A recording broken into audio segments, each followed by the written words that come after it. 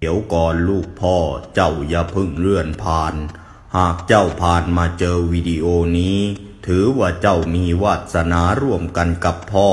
หากเจ้าเม้นขอพรพ่อขอให้เจ้าสำเร็จสมปรารถนา